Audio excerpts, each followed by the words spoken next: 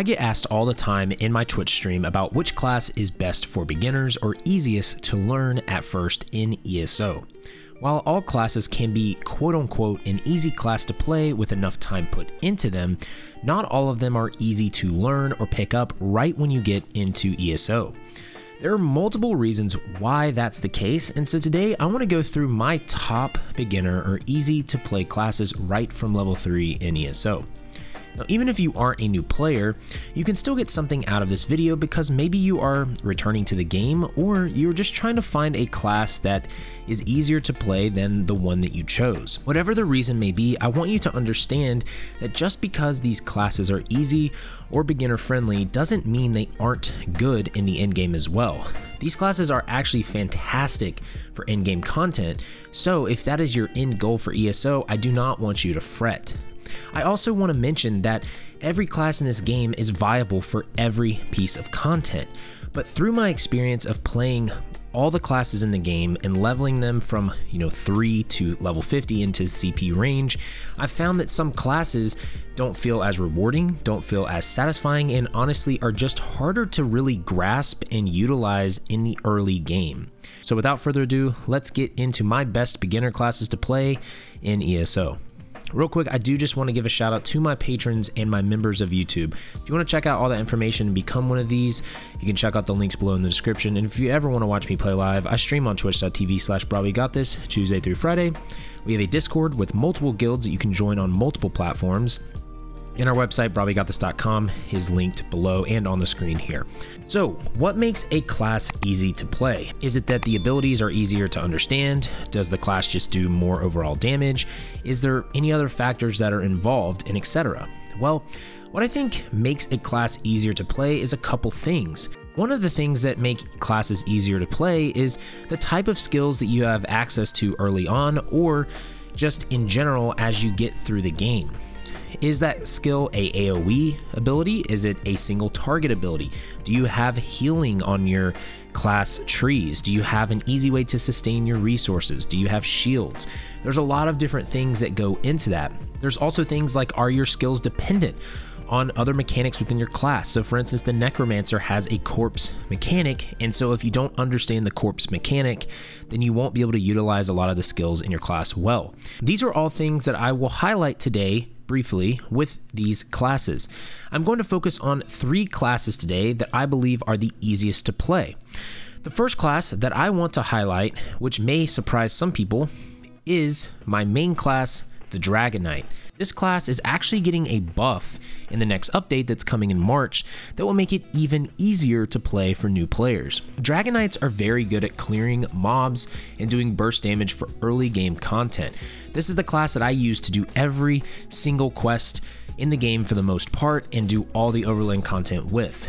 But also in the late game, this class can be a heavy hitter for DPS and can be a fantastic tank as well. There's a lot of great abilities that this class has and synergy. But let's look at what makes the Dragon Knight a very beginner friendly class. So looking at the DPS side of things, Dragon Knight has easy to use abilities that make a lot of sense and are just very simple. And it also does a lot of burst damage in my opinion. But not only do they do nice burst damage, it's the type of abilities that they are and how easy they are to utilize.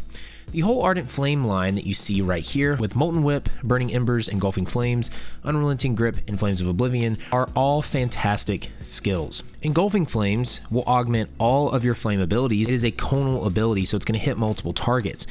The morph of this, Noxious Breath, is also going to augment your poison abilities. Dragon Knights are known for poison and fire, as if you look at your passives here, World in Ruin increases the damage of your flame and poison attacks by 5%. A lot of these damaging abilities are fire or poison uh, effects uh, you'll see the poison effects if you morph them into the other ones for the most part. Like Burning Embers will be uh, Venomous Claw. But the reason Engulfing Flames is easier to use is because you don't have to really think about it. You just click the skill and then all your fire abilities or flame abilities or poison abilities if you have the morph are augmented. So if you're using destruction staves, you can use force pulse, you can use elemental blockade, and this is going to do fire damage. That's going to be or flame damage. That's going to be augmented. This is going to have some flame damage on force pulse. That's going to be augmented. There's just so many things that get augmented, and then all these other skills as well. Burning embers is actually getting a buff in the next update, like I said. So this is actually going to heal you for 100% of the damage that it does immediately in the next patch, which is amazing because it's just a great self heal. Unrelenting Grip is an ability that if you do not actually pull a target, so if you use this against a boss, you will get the full Magicka uh, resources back that you used to cast it. So you can just spam this over and over and over again. Molten Whip is a great single target ability early on in the game that will help you just destroy mobs. Flames of Oblivion just has an amazing ability attached to it just for having it on your bar. It, it gives you major prophecy and savagery. Let me move over to like the Earthen Heart line. Eruption is a AoE ability that is a powerhouse and does so much burst damage and lasts for a long time for uh, players. I mean, this ability is just so good for the late game and when you get this unlocked. If you get this unlocked early on, it is fantastic. It is it just will rip through mobs in the overland. Not only that, you have multiple other skills in here that are very, very useful.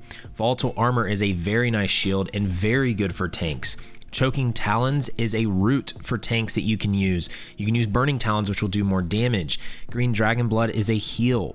Igneous Weapons, which will help you and your teammates. Igneous Shield, which is another great shield. So as a tank, if you're trying to learn, you have a lot of skills as well that are just very easy to learn and utilize. The ultimates are also fantastic. Standard of Might does so much flame damage over time. It also applies major defile to them, reducing their healing received and healing rec health recovery. And if you stand inside of this, you're going to get a 15% damage boost, and you're going to reduce damage taken by 15% which is insane. The reason that this class is not further up on the list than the other two I'm going to mention is because you don't get Eruption until the last skill in the Earthen Heart tree.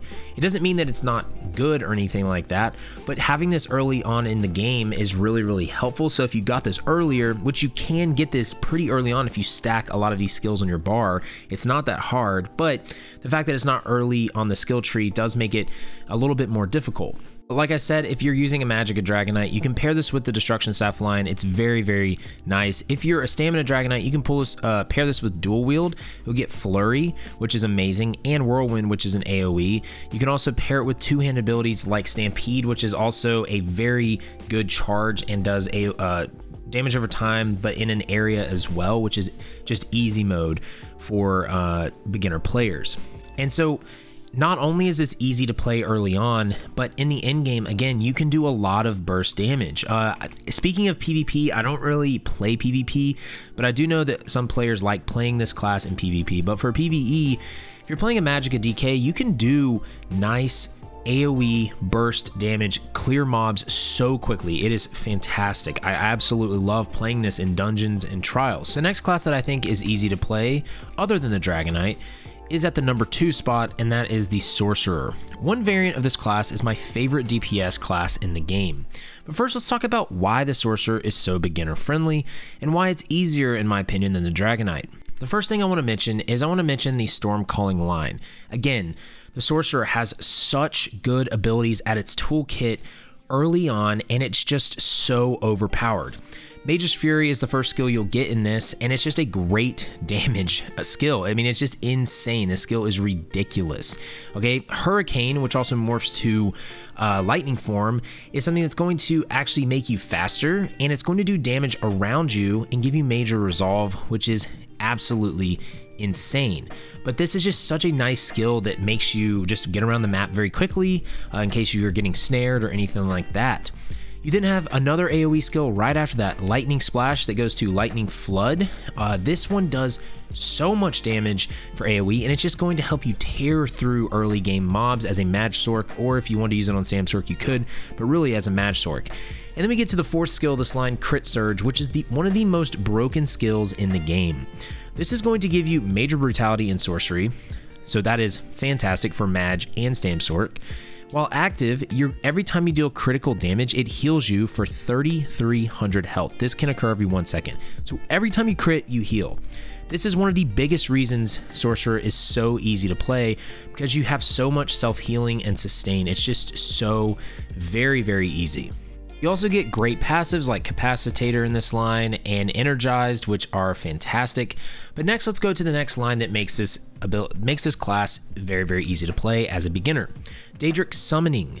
Daedric Summoning, the first one you get are little familiars, right? The Unstable Familiar. This is going to do, uh, if you choose the damage one, is going to do shock AoE damage to enemies.